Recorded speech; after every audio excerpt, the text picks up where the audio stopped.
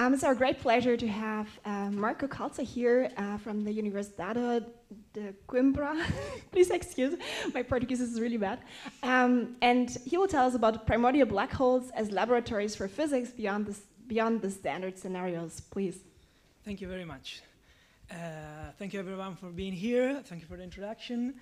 Uh, this project is done in collaboration with my supervisor, Joao Rosa, and with John March-Russell in Oxford. So let me answer the question I hope you have. Beyond what? Beyond which standard scenario? So uh, beyond the standard model of particle physics in the sense that we would like to provide a new way to prove the total number of axion-like particle or in general light scalar with a mass smaller than few megaelectron volt throughout the spin distribution of primordial black hole that are today evaporating on another side beyond the vacuum solution of general relativity in the sense that we want to provide a way to probe the beyond horizon structure of a, a solution which are not vacuum solution of general relativity and this through the dynamic of the evaporation of black holes, so tracking the mass, the spin parameter and the temperature of the black holes. So let me uh, introduce the ingredients for the recipe of the first part. Uh, there are axions, or in general, scalar field. Axions are scalar field which enjoy a shift symmetry in four dimensions. They have no mass from perturbative effect. Therefore, their mass uh, must be really small and can come only from non-perturbative effect. They come really copiously from string compactification. Their number can span from uh, 100 to 1,000 and 1,000. The other key component are primordial black holes, which are black holes from the early universe throughout the direct collapse of plasma over densities, and their mass can span several order of magnitudes. We are interested in the one having 10 to the 12 kilogram at the formation time because they are the one that today are evaporating, showing changes in their spin parameter if uh, in presence of many scalar, uh, light scalar particles. So, as we know uh, from the 70s, black hole evaporates, are thought to evaporate with an early thermal uh, uh, emission I will not bother you with uh, all the calculation of quantum field in curved spacetime, but basically they evaporate uh, and uh, their temperature is inversely proportional to the mass. So while they evaporate, their mass will shrink down, the temperature will raise, and they will be able to emit uh, more massive and massive uh, particle. and uh, the particle of the emission of particle with a mass smaller than the temperature of the black hole will be exponentially suppressed. So a good approximation is to consider uh, a particle massless if its mass uh, is smaller than the temperature of the black hole, otherwise absent from the evaporating sample. Why axion-like particles are so important uh, and uh, give a different result with respect, respect to the standard model particle because they are scalar and they are many co very copious and their leading emission mode is the spherical one. Therefore, they will raise the uh, spin parameter of the black hole while being emitted because we'll drag away only energy and matter from the black hole. So basically the black hole will do like a, a dancer which is spinning and taking the arm to, towards the chest. So let's come to some results. Uh, what you see here is called the Regge plot. We have on the vertical axis the today spin uh, parameter of a black hole and the today mass of a black hole, which was 10 to the 12 uh, uh, kilogram at the formation time at the beginning, uh, at the Big Bang time and uh, in two very different scenarios, one nearly extremal and one born at the percentage level.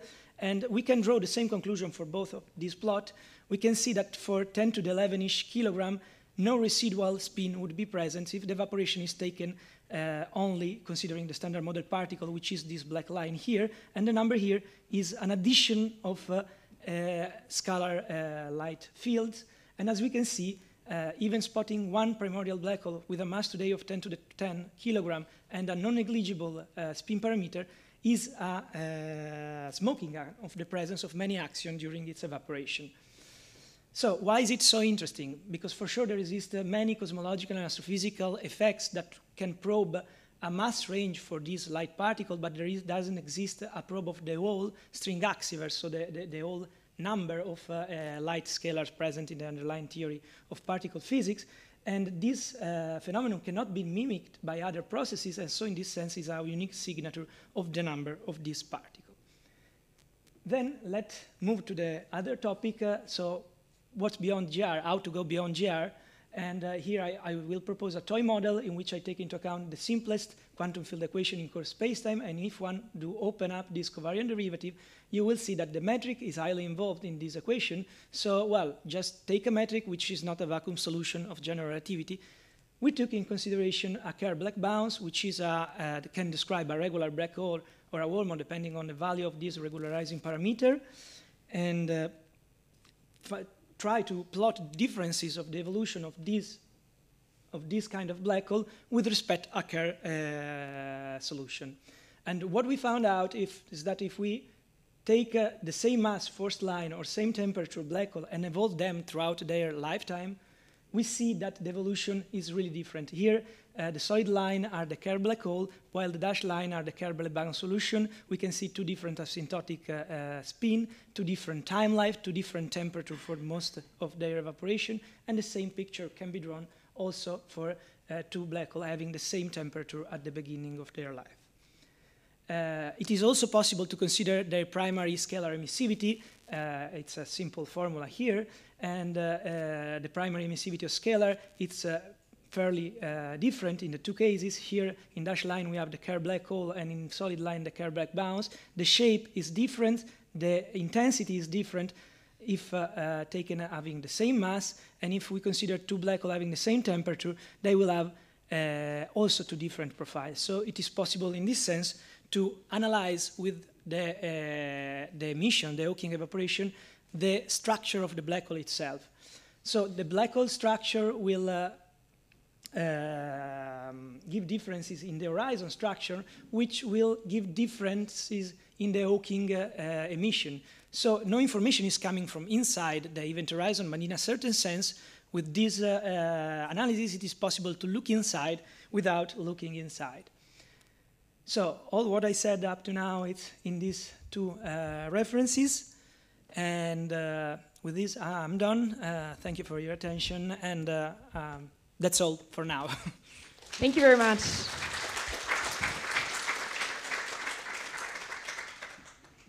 Other questions for Marco?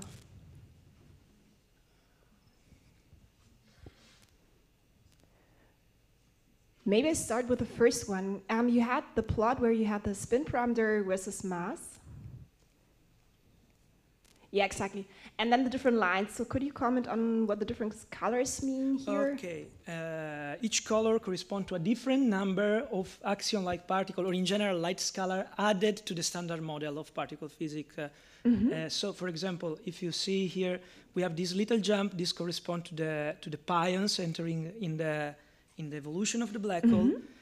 And uh, uh, the numbers are just uh, the number of additional scalar particle taken into account in the evaporation sample. All right, okay. okay. And they are taken into account since the beginning because 10 to the 12 kilogram correspond to a temperature of more or less uh, uh, the order of uh, some megaelectron volt. So we take into account light particles lighter than this scale. I see. Okay, thanks. Um, and then I, I, see one question. Um, I will let you go first.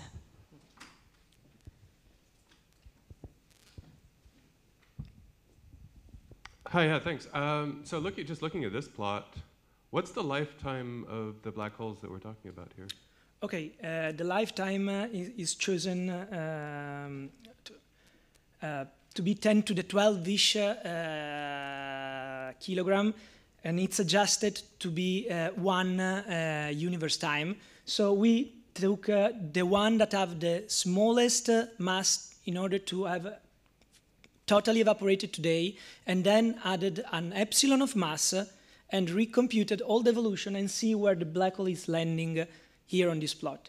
So uh, we took into account uh, a black hole with a mass higher than 10 to the 12 of uh, a very tiny bit in order to uh, not have uh, the total evaporation occur today and to have this plot. But since this epsilon is really small, you can regard this curve as a evolution of a single uh, black hole. And uh, if you do evolve a single black hole and try super to superimpose the two curves, they will be basically the same curve, at least on this plot. So, so if I understand your response there correctly, you're adjusting for the fact that you're, you're multiplying the number of degrees of freedom you're evaporating to by, you know, 10, We start years. considering uh, just the degrees of freedom with uh, uh, a mass uh, smaller than uh, the um, megaelectron volt scale, and then at each scale adding the new particle into the evaporating sample. For example, here you can see uh, the only hadrons entering in these samples are uh, the pion, uh, and they enter here and they are scalar. And so you can see here a, a small spike in this uh, green and yellow curve, and it's due to them. Then when all the QCD degrees of freedom enter in the evaporative sample, for example, here for this scale, which is roughly lambda QCD, we have a a net decrease in the spin parameter of the, uh, the primordial black hole because of uh, uh, the emission of non-scalar particle. Thanks. Okay, there's one question by Katie.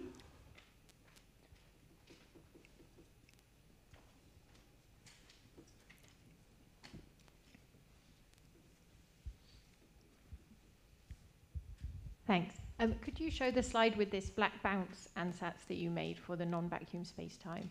So is, is the idea that you're just trying something that essentially, you know, isn't, you know, isn't a black hole? Is this just a toy model or is there some motivation for taking this specific Oh, form? that's just a toy model for, for two main reasons. One, we consider a massless uh, Klein-Gordon field mm. and not uh, the whole uh, uh ensemble of fields which uh, we know that will emit if uh, and uh, we consider a Kerr black bounce solution uh, which is a solution, not a vacuum solution of general relativity, mm. Uh, and uh, it's a solution which regularizes with this parameter. Mm. And uh, yes, it's a toy model in the sense also that this solution, since it regularizes the black hole, introducing a, a throat inside the horizon, violates, mm. for example, the null energy condition. Mm. But it was just a probe to see how far can we push it and uh, is it possible to see which black hole is emitting with which uh, um, differences with respect the standard one? Yeah, so it isn't the idea that, so here you know you would have some matter that would generate this space-time and as you said, you, you end up violating the null energy condition, which then means that you would have a negative energy density potentially. So it's not the idea that your axions are sort of sourcing this change in the curvature.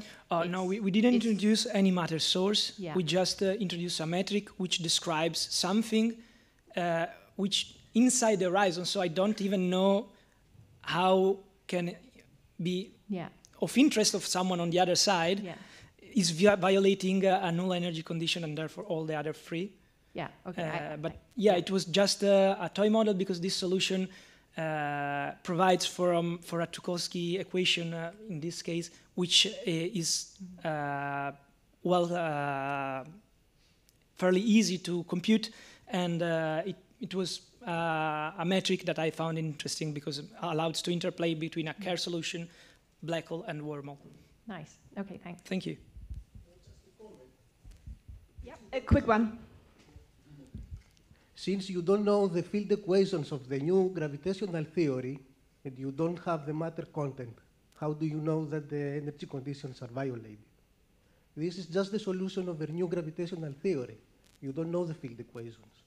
You no, no, absolutely. But since since it describes, okay, you, you, let's see if I understood your, your question. You say that since I don't know the theory which is generating this solution, I can't. Okay, yes, I'm I'm giving for granted a, a GR as a background theory when I say this. Yes. Okay, we can agree on that, maybe. Okay, so I would suggest that we have further discussions over lunch and that we break here. So let's thank our speaker again for thank this you. wonderful talk.